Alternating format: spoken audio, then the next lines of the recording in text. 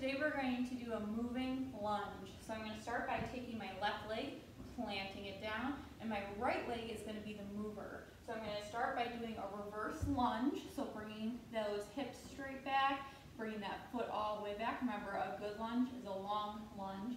And then driving through this front heel, I'm going to lift all the way up, keeping that leg up in the air.